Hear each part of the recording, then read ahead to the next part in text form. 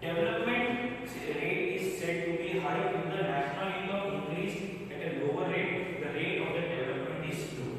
If the national income does not rise, it depicts the state of the stagnancy and the national income decreases, there is an underdevelopment or negative development. According to this indicator, real income and money and not money income is taken into consideration, hence the national income is calculated not at the current price but at a constant price. Listen, first point they are specified for a development only the growth rate in the national income. How we are making improvement in the national income? What is national income? The income which the individual, each and every individual of the country is earning, divided by the total population. We can say as a part of a national income.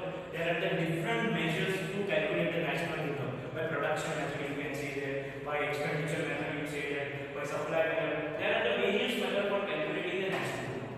So here they are specified if the country's national income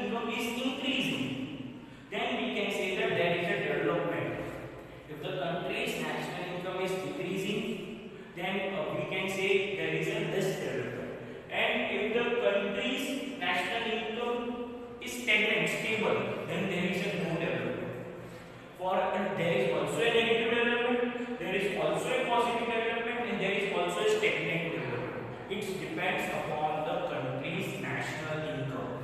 If there is a growth, then this indicator say that our country is developing. If there is a no growth, then our country says there is no development. If there is a negative uh, national income, and we are saying our development is negative. So they have specified the tabular expression. Some countries have faster rate of a growth of the national income. Page number 18, table 2.1. So in that they have people have specified the countries here, even the annual growth rate of the national income in percentage. In percentage, they have specified the growth rate. From the viewpoint of the national income I'm talking about. First is not the percentage is 2.2 percent. So every year the country's national income is increasing by 2.2 percent according to the tabular expressions. This survey was taken in the year 2015-16.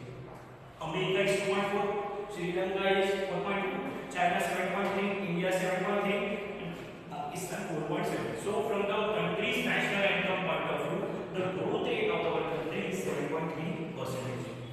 Even they have specified the limitations, some disadvantages. They have specified three limitations.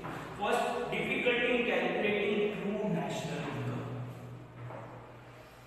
For calculating the national income, uh, they have specified the three limitations. First, difficulty in calculating the true national income. So, uh, you know that by calculating the national income, there, uh, there is sometimes a double counting. We are including uh, the price of goods in raw material also, uh, as well as we are including the price of the goods in finished goods also. So there is a double counting. It should not happen. If this is happening, then there we can't get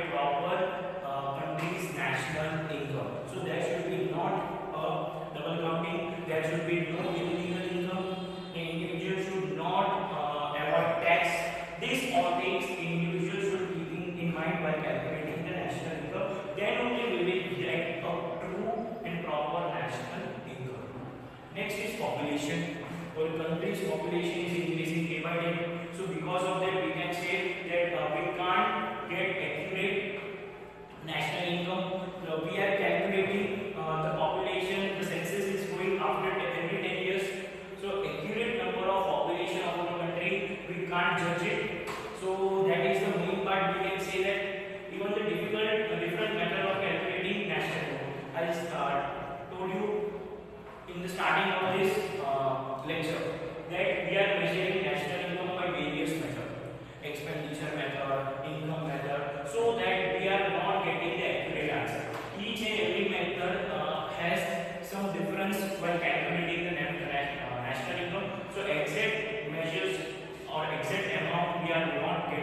for finding out the national income. So first is difficulty calculating true national income. Second is population. Third is difference method of calculating national income. The fourth part is uh, sorry. These were the three limitations. Now the second main point is growth rate of a per capita income. The second main point is growth rate of per capita income. Here they are specified uh, its meaning, its capital expression, even the limitations. First, according to this indicator, when the per capita income of a country increases for a long period continuously, it can be said that the economic development has taken place. Per capita income is an average income per head. Per capita income is the gross national income of a country divided by the population of the country. These indicators take place into the account of the population of the country too. And hence the per capita income as an indicator is superior to the national income as an indicator. The experts of UNO, that is United Nations Organization, has recommended per capita income as an indicator of the economic development just as a national income. If the capita income is high, there is high growth rate. If it is low, then it is a low growth rate. If it is stable, then it is stable growth rate. Here they are specifying. First of all, you are trying to find out the national income of the country. The gross national income of the country is divided by the total number of populations. So you get an average answer. How an average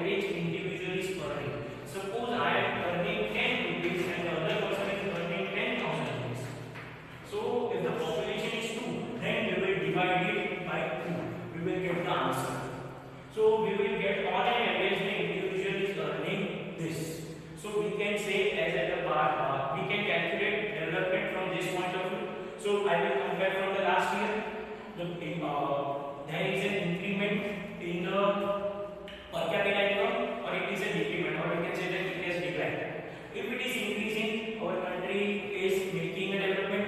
If it is not increasing, our country is not making development. If it is same, then our country is at a stable point. It is not developing as well as it is not declining.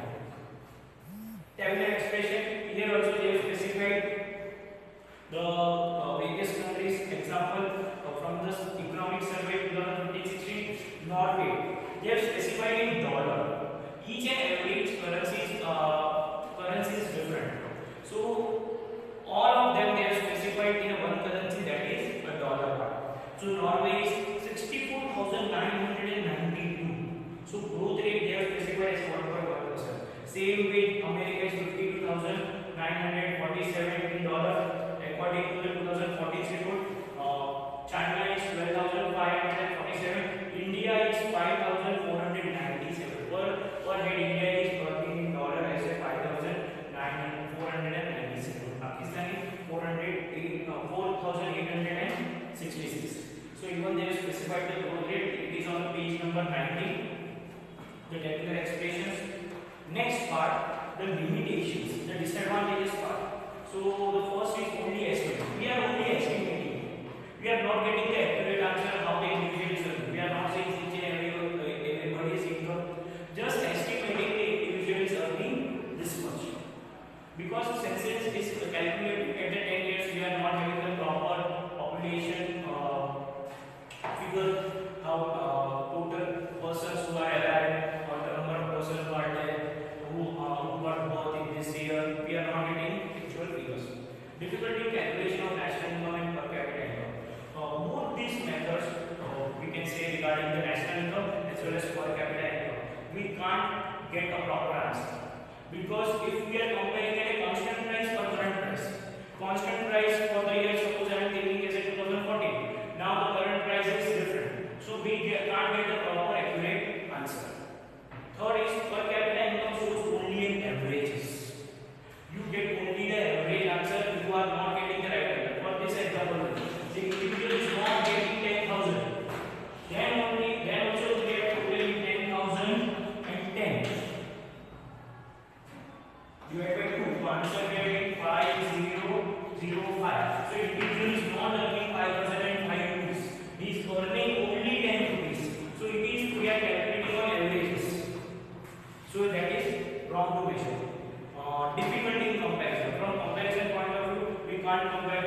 because we have to convert them into the dollar. Even the some uh, other countries' currencies euro, then also it is very difficult to compare, and we can we can't analyze it properly because the exchange rate on daily basis is changing. Suppose today's uh, one dollar is equal to seventy rupees. It may be one dollar is equal to seventy five rupees. The after tomorrow or tomorrow. So this uh, error occurs in the by calculating. And last per capita income of the country is not actual income of the said citizen gets per capita income is an indicator height more than it levels. It is not indicator. It is not clear